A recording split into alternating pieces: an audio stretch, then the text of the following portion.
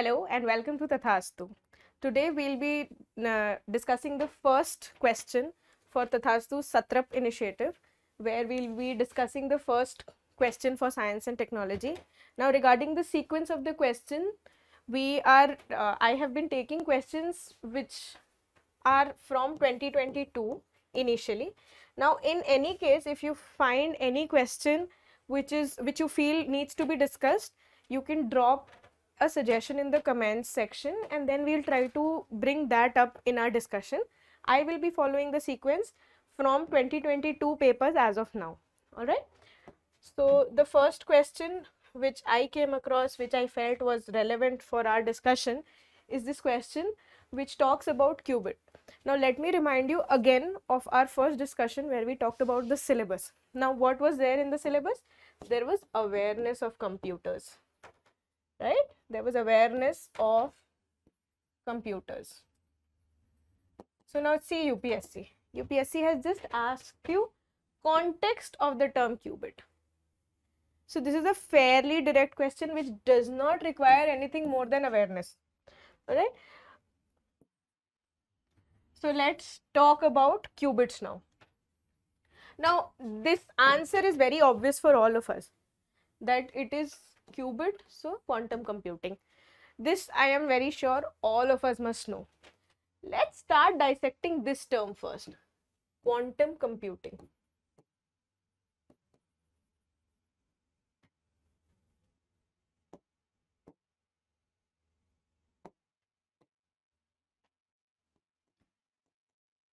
Now what is quantum? What is computing? What is quantum computing and why is it so different from the whole trend of computing that we have been doing? So basically quantum we must have studied. There are packets of light known as photons. Quantums are basically photons. The photons are transmitted in packets of light and those are quantums. Now basically what happens in quantum? The unit is qubit. Qubit is the size of that packet. So that is quantum. Now, as of the concept of quantum computing, this is not very relevant. Let's switch over to what is quantum computing. Now, you must have heard of terms like supercomputers also. Okay. These are also very fast. Every day we are reading newspaper that uh, this speed has been achieved so many petaflops have been achieved so many gigaflops have been achieved. Then why separately go for quantum computing? Now let's take an example. Now you have one. We are taking an example from chemistry. This this use this example to relate it to all other fields including metrology, including biology, DNA, uh, reproduction, everything, quantum computing can be applied. Let's see how. So now basically, I will first show you how a supercomputer works. And then we'll try to see what a quantum computer does.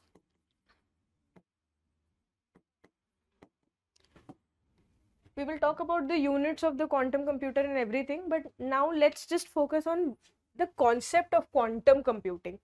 Okay so first let's talk about supercomputers. Now i have a chemical reaction here taking place all right?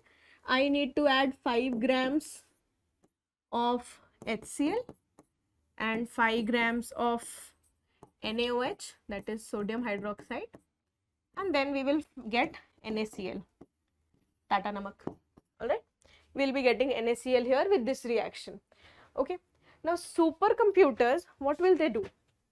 Instead of this 5, if we are going for 5.00001 and instead of this 5, that is for NaOH, if we are going for 4.00000 no 99999 so what the supercomputer can do is it can predict this that if there is a minutest change in the uh, concentration or if there is minutest change in any form of the conditions of the existing atmosphere if we increase the temperature if we increase the heat if uh, if we increase the pressure or if we increase the volume of this container, everything can be predicted by the supercomputer. Supercomputer can do everything computational because it has multiple processors, all of them processing 0 or 1, 0 or 1, 0 or 1 because those are the units in which supercomputers operate.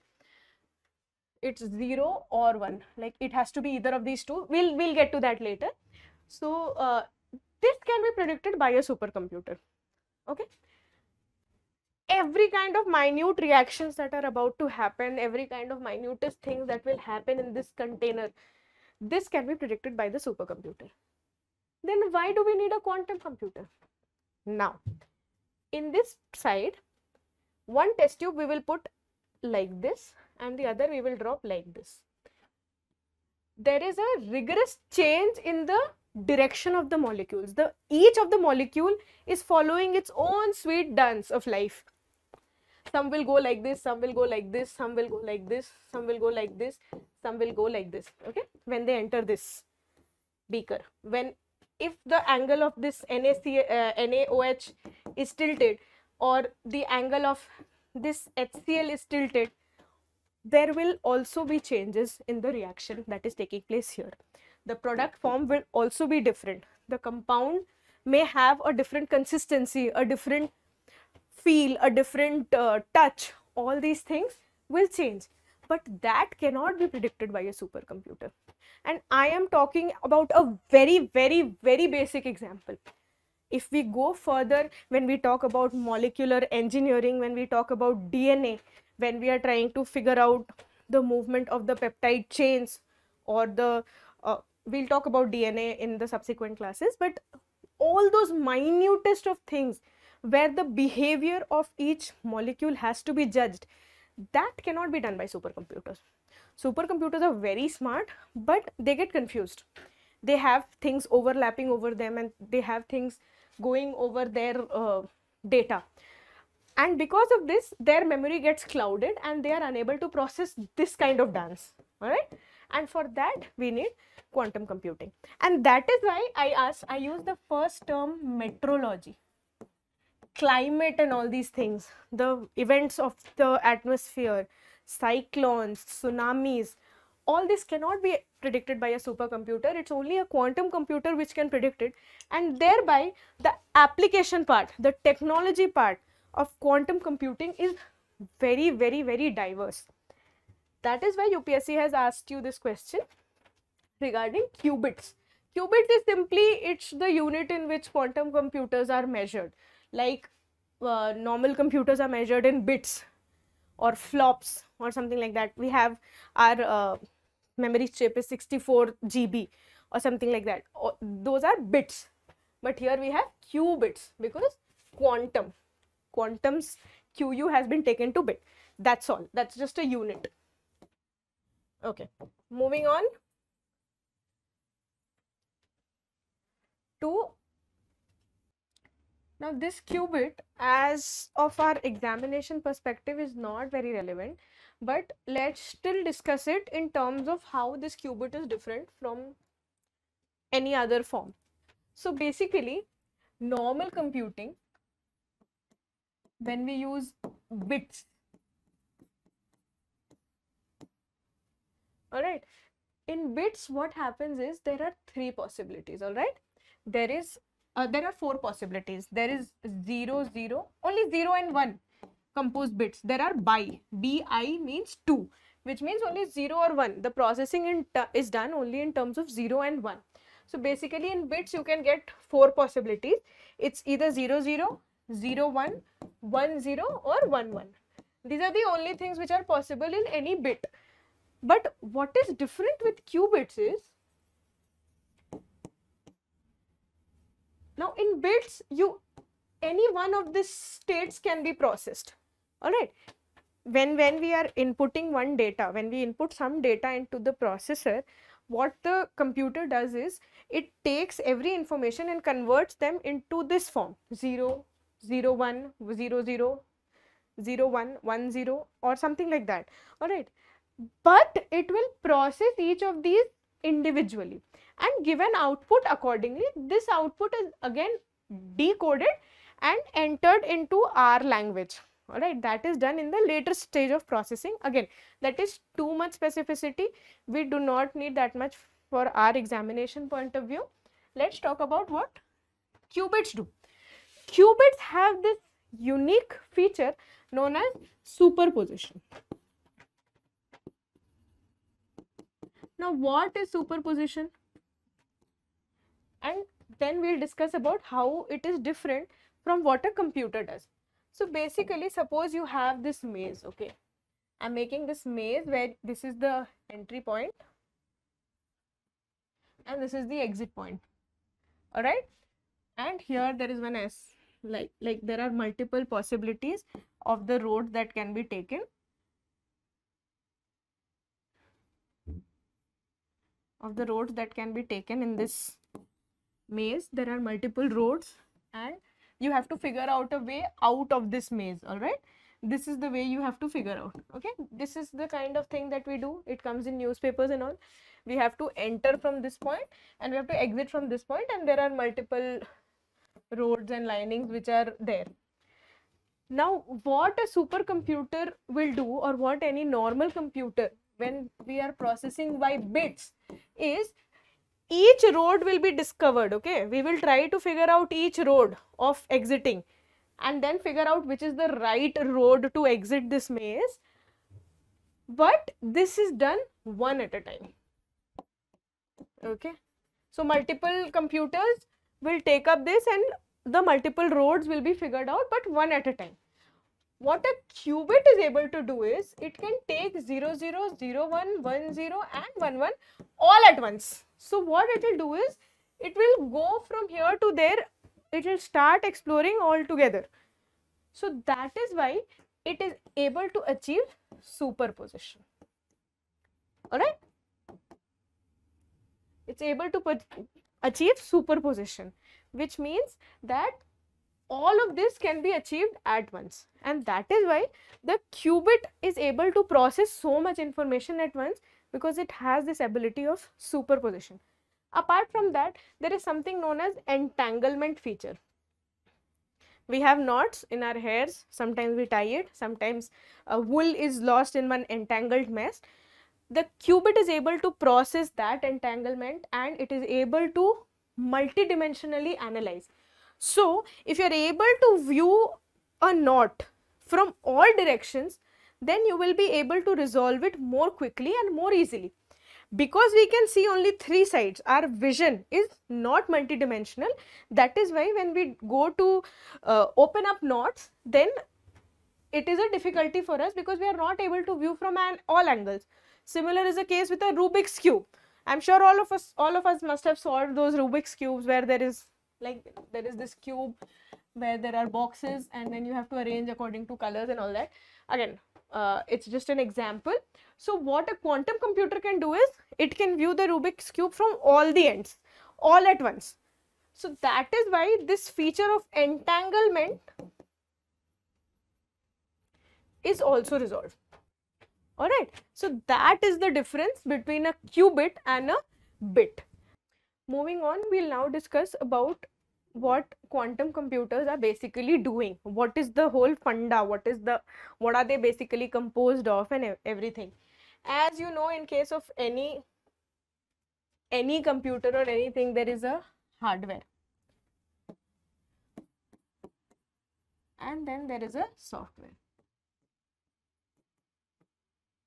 right? So quantum computers are also working in that aspect only. We will also discuss about india's role because as you know 8000 crore has been allocated for national quantum computing uh, quantum computers and technology initiative okay? So that has been done. We are doing too much to improve this quantum computing space. As you have noticed that it has so much of applications so india has been allocating uh, 8000 crores and there are 21 quantum hubs which are being developed in the country. There are four quantum research parks which have been developed across the country. And then there are uh, there is a lot of allocation. Everything is going on. It's still in process.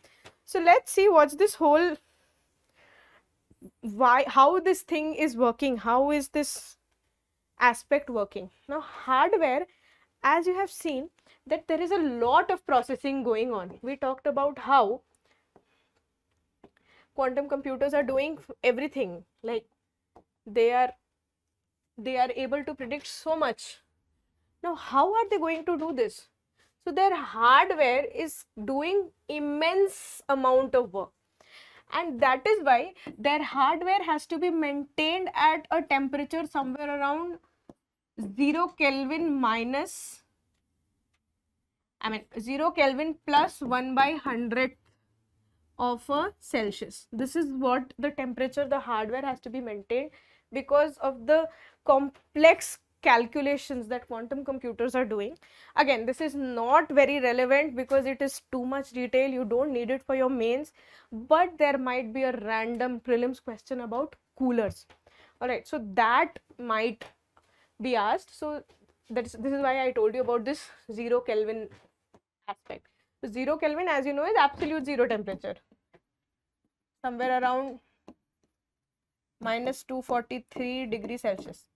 Nothing can go cooler than this. And this is the kind of temperature that we are maintaining. All right? So this has to be mentioned. Now software of quantum computers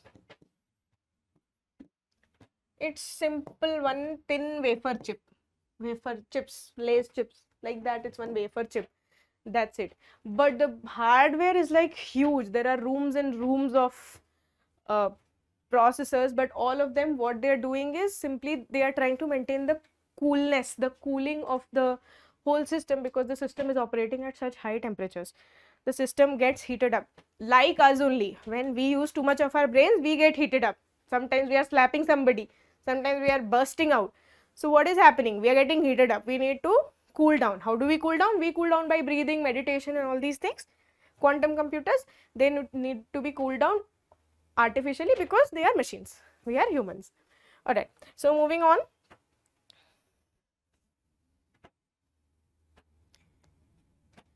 What is India doing? Now, this is the whole hardware software specification, not very relevant for our exam. Basics is important and we have done the basics. That's all. You don't have to get into details of how the processing is taking place. As I said, it is very, very, very, very complex. It's almost like our human mind all right but where we are able to perceive that okay the depth of something is this much the height of something is this much the width is this much we are going we can explore things from dimensions multidimensionality is a characteristic of human mind even quantum computers can do it lesser than humans but we are not able to process it to that extent or even if we are processing it we are unable to put it as output so again that is a different discussion a different time well, let's get back to our national quantum computing mission. India has allocated 8000 crores for our national uh, quantum computing mission. Techno uh, the mission is called Quantum Technology and Application. Mission for Quantum Technologies and Applications where a sum of 8000 crore has been allocated. And this was done in 2020 budget because of which i think it was a part of the questions. Series uh, it's come in a series of questions till 2022 the reason is this only. We have developed four research parks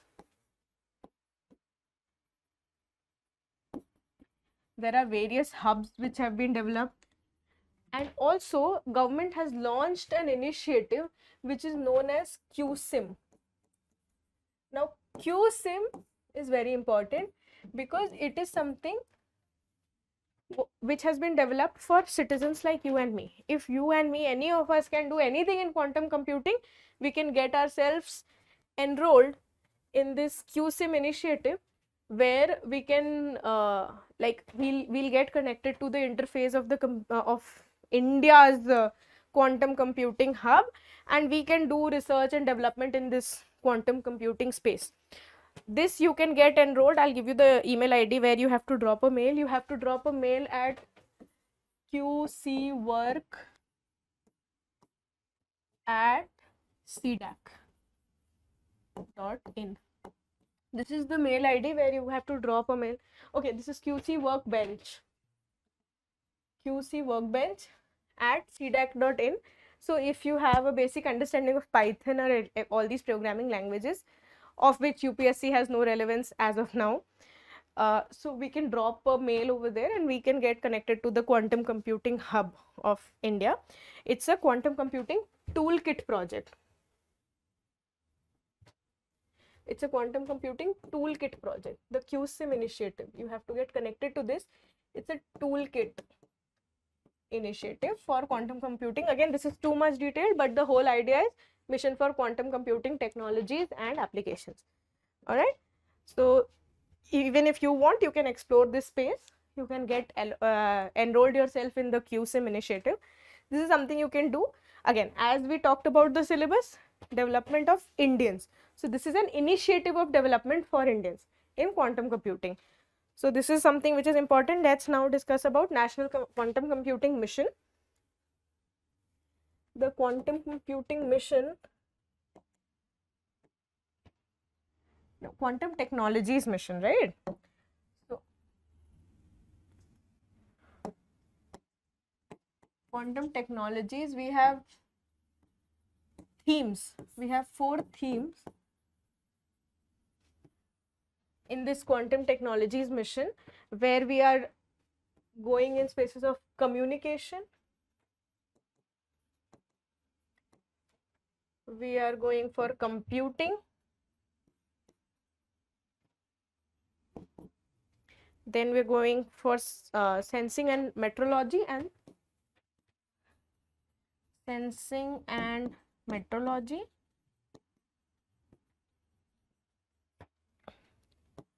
and we're talking about simulation.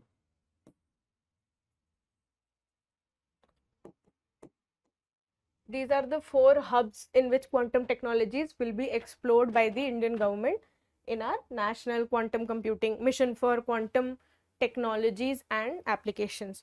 So this is what we have and as of now this was what we could discuss under this lecture. We will be talking about cloud services in another question.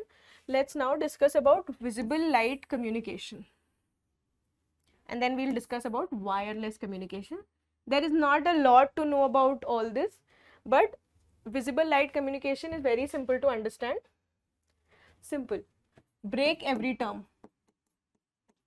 Visible light communication technology. Right, this was the question. Visible light communication technology. So what are we doing in visible light communication? There is a visible light, just like this white light. There is one tube in your house. There is one visible light source in your house in whatever place you are studying. There is a visible light, visible source of light. What we are doing is we are using this visible light for communication. How? The visible light will actually carry information with itself. Or it may also carry internet wireless communication some form of communication waves. Okay? In just a room like this when there is just one tube light which is on with there is one led bulb which is on it's actually projecting internet. It is working as an internet source just like our wireless communication the WLAN the LAN that we have local area wireless network that we have. Similar to that we can do that with the help of visible light. Visible light is nothing but an electromagnetic wave which is capable of carrying information which is capable of carrying information and that information will be used as a internet source. Okay? As of now we'll be discussing this only about visible light. There is another question in 2018 or 17 uh, about this visible light communication that we'll be discussing in detail. Then wireless communication technology. Now this is very simple to understand. Wireless communication technology is very simple to understand. Simple. There is you must have seen this device you must have all played with this device.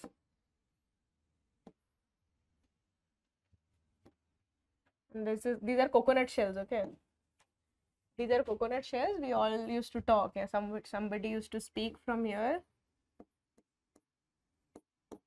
And we would put a ear over here and we were able to hear this sound. This is wired communication technology.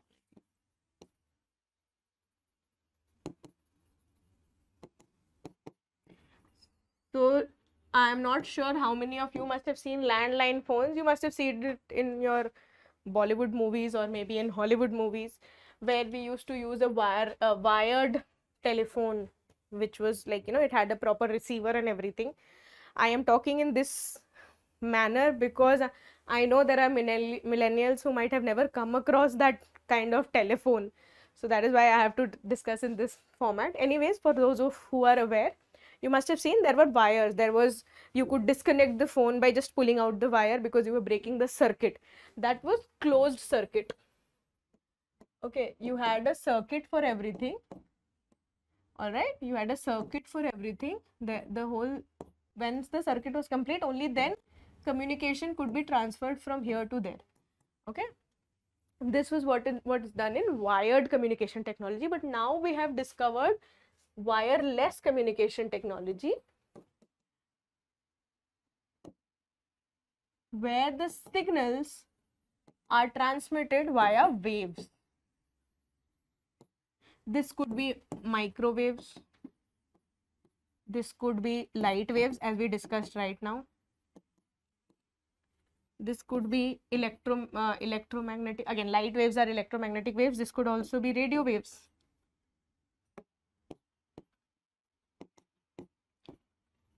When we are listening to the radio. I am not sure if you all have come across the radio also but also youtube. When we watch youtube then what happens? In youtube we receive the signals. There is a signal broadcasted from tathastu office. It is broadcasted and your phone has a receiver for it. It receives those signals and telecasts what i am telling you in your screen that is what is wireless communication. I am communicating to you without any wires. So this is wireless communication. Again we will be discussing about that in detail in upcoming questions. So this is what this question was all about. With this we end today's video. Thank you for watching